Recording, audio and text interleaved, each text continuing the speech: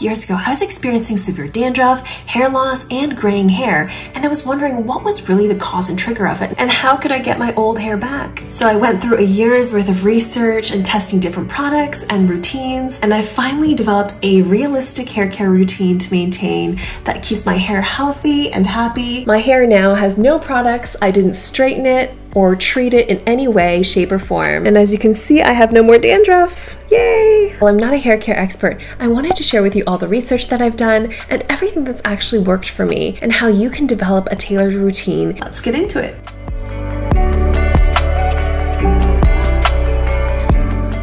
So I used to be too lazy to brush my hair regularly and I would use my fingers in the shower to detangle my hair. Little did I know, but this habit really worsened the hair loss that I was experiencing because when you brush your hair when it's wet, it's more prone to breakage, it's more prone to damage, it could also become more rough and less smooth over time. So what I do now instead is I use a wide bristle comb. Before I shower, the first thing I do is brush my hair and I start from the very bottom of my roots, holding the middle of my hair so that if there are any tangles, it won't pull the entire strand out slowly working my way up to the very top of my head. This one's called the Tangle Teezer. I'm sure you might have heard of it. It has some very soft, flexible bristles, which means it's not really going to get too caught on any of the knots you might have in your hair. So I do use this at home, but you can also bring it outside with you. And the back side is really cool. It's got a mirror on the back. I'm a little bit neurotic with my items. I like leaving a sticker on my mirrors. And you don't have to use this one. You can use any wide bristle comb. I will be linking everything I'm mentioning down in the description box below. Some of them may be affiliate links, which means that I may earn a very small commission off of your purchase at no cost to you, of course. And I typically use affiliate links for this channel because I accept fewer sponsorships because of how picky I am when it comes to curating products. And I will never recommend you anything I don't don't love and use myself. Very hot water can damage your scalp health. It can dry out all the oils on your head, and from the dryness, it can cause flakiness and dandruff as well. It can also weaken your hair roots, cause premature graying or frizz. So right now when I shower, I always make sure that I turn on the temperature to lukewarm, feel it with my hands before I step in. And if you absolutely have to take a hot, scalding shower, make sure you cool your hair down at the end of the shower with some cold water to seal the cuticles. There are so many reasons that you might be experiencing hair loss, dandruff, or graying hair. But if you don't really isolate what the problem is, then you can't develop a routine that fits it properly. So at the end of this video, I'm going to be sharing with you some important questions that you should ask yourself so you can develop an effective hair care routine for yourself.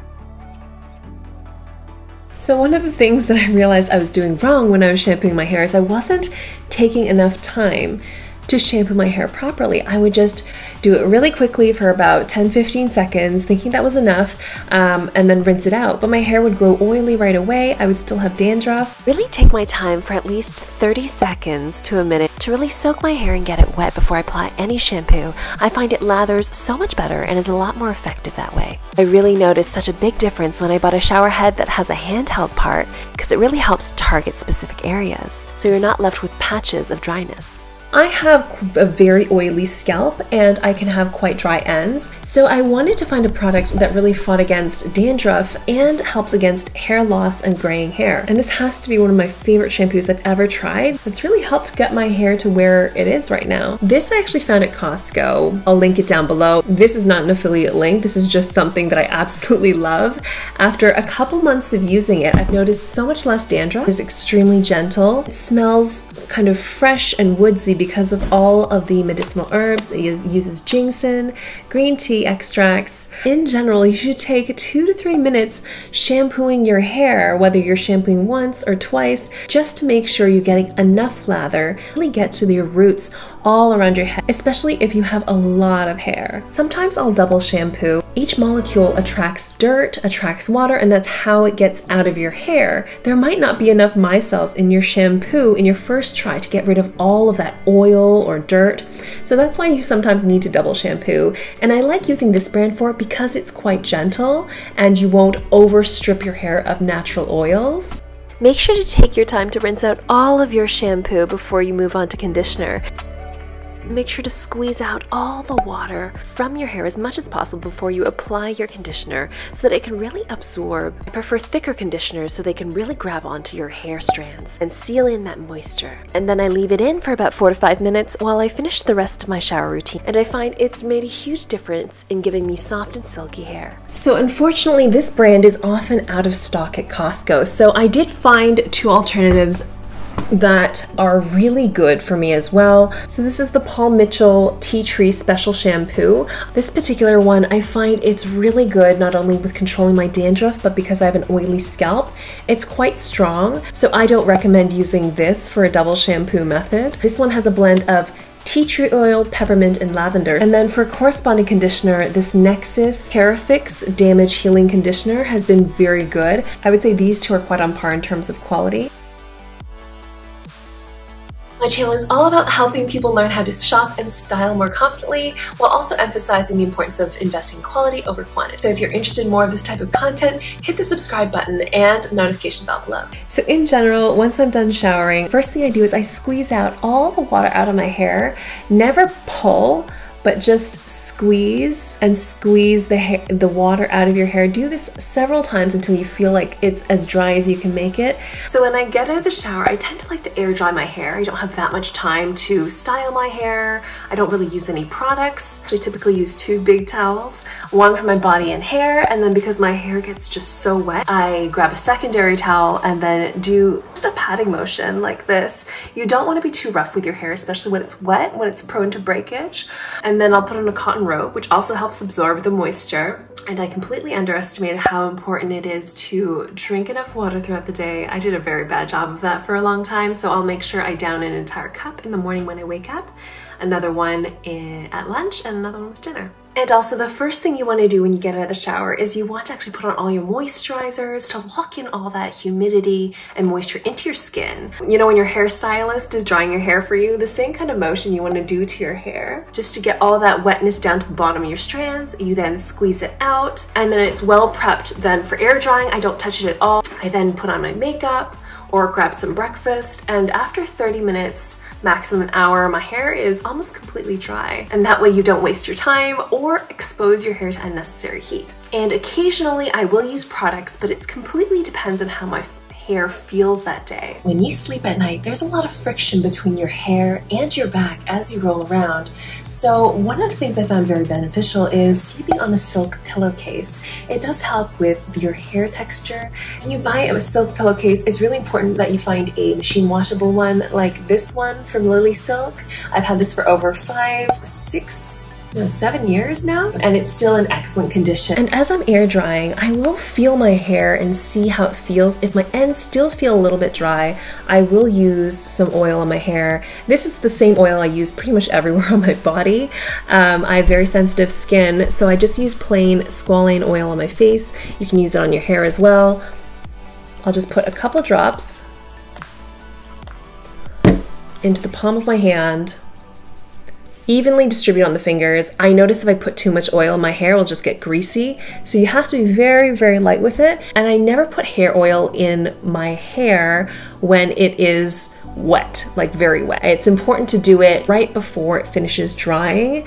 Um, that way it doesn't stay like a greasy clump. What I finally realized was one of the main causes of my dandruff was the fact that I was showering quite late during the night because I was working so late. I would get out of the shower, dry my hair as much as I could, but then I would fall asleep on wet hair, which can cause fungi to grow on your scalp, like malassezia, which can cause dandruff or other scalp related issues. So if you do plan to air dry your hair, I now try to shower my hair during the day, or if I shower at night, shower your hair at least an hour or two before you go to sleep so your hair is dry before you go to bed. And if you absolutely have to sleep on wet hair, at a minimum, try to use a hair dryer and dry your scalp. I would love to know if you're implementing any of these tips I mentioned. In the rare occasions that I do use heat, I use this called the BB Hairdressers, Bumble and Bumble Hairdressers Invisible Oil Heat UV Protective Primer. I will say I absolutely hate the spray part of this. What I typically do is I actually spray it. See, it's terrible, but I will just spray it into the palm of my hand, rub it around, and then it gives me much more control over where I want to put it in my hair instead of spraying it all over the place. When I used to work crazy hours during my busy season,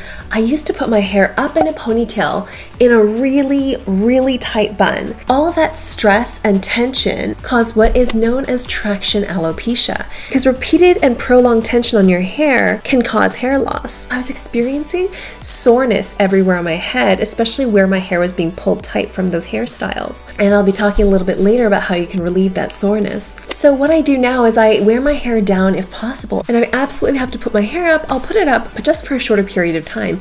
In general, you shouldn't keep your hair in the same hairstyle for too long. There's a couple different ways you can put your hair up without causing too much tension on the hair. One is that you can use a very large claw clip like this. You can also use a silk bandana, or you can also use silk hair scrunchies. That's actually one of my favorite ways. Or you can put your hair in a loose braid. So when I traveled to Taiwan a couple years ago, I went to some hairstylists and they really pointed out that my scalp health was really bad. It was very red, itchy. So now what I do regularly, I just look at my scalp in the mirror, check to see if it's red or my regular skin color, and then I'll feel around on my head and see if there are any sore spots. And normally with a healthy scalp, you shouldn't feel any sore spots. Scalp massages are really great for improving the blood circulation, which means that more nutrients can flow to the hair follicles and it gets rid of waste faster. And scalp massages can also be very therapeutic. It helps reduce stress, which is one of the very big factors that my hair loss. And I'll get into that a little bit later and how I was able to overcome that personal stress. There are two ways that I do incorporate a scalp massage in my routine. One is if I don't have time,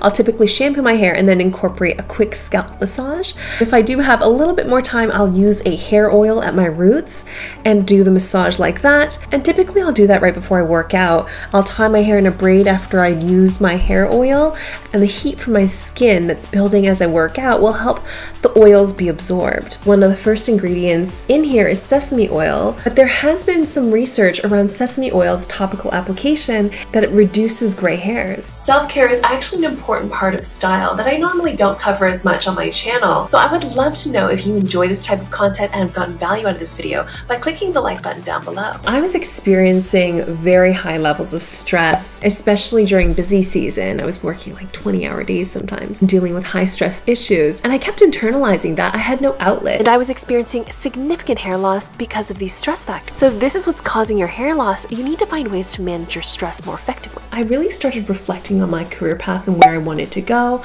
I started negotiating a work from home arrangement. A lot of companies now have EAP programs, employee assistance programs, where you can talk to somebody and really have an outlet for those emotions that you have. Massages really helped. I learned how to give myself body massages and facial massages that were extremely relaxing. And that's actually quite highly requested, so I'm going to be coming up with a separate video on that. I'll link it somewhere up here or in the description box below once it's out. I actually developed a whole routine for myself on how to help manage my emotions and stress. I feel like that's a whole nother video that I could do, so let me know if that's something you're interested in. So when I was working very long hours back in the day, I was not eating enough vegetables, not eating healthy, nor was I eating regularly because I just didn't have enough time between meetings. So the impact of a healthy diet for you may be tiny or it could make a big difference. It all depends on where you are right now and what you're eating. In general, I found a very balanced diet, especially antioxidant rich foods, which helps with the graying hair. Include green tea, which I've been drinking every single day, fish, nuts, seeds,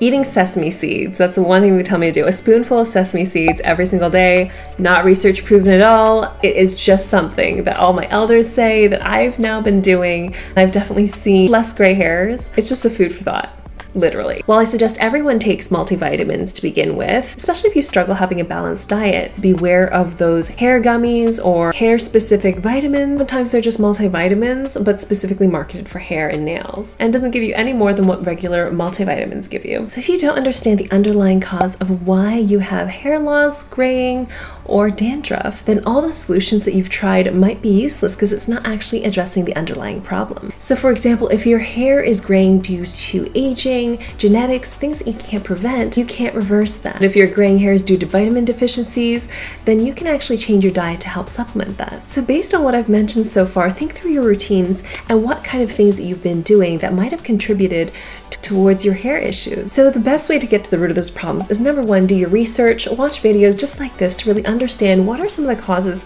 of the common hair problems. Start with the controllable factors first. Are you sleeping on wet hair? Are you not eating a balanced diet? Are you not washing your hair properly? As, so as you go through the list and narrow things down, if you realize that it's due to none of those issues, it may be the fact that it's hereditary or genetic, or you might be going through your pregnancy and you're experiencing significant hair loss, and eventually that will stop. And then the next thing is I simplify my hair routine down to the very bare minimum, and that way I can really track the progress of the specific things I've changed. So, for example, I started using this hair care product for a couple weeks, but I didn't change anything else. My diet, any other products I was using, my routine, everything else stayed the same. And I'm able to measure exactly how this has impacted everything. However, if you're seeing moderate to severe levels of hair loss, graying hair, or dandruff, and you're not necessarily going through postpartum hormonal changes, you should definitely go to a doctor to seek their opinion. It could potentially signal an underlying medical condition or issue. For example, significant hair loss when you're not pregnant could be a sign of hyperthyroidism. If you're trying to revamp your hair care routine, it's important to go with it with an open mind and not to come with too high expectations. Did you know on average that people lose about 100 hairs a day? A couple of gray hairs here and there or some hair loss loss is perfectly normal to experience, especially as we age. Having a healthy and easy to maintain hair care routine is a great way to elevate your style naturally. And you can actually learn even more ways to elevate your style that don't actually require any money in this next video.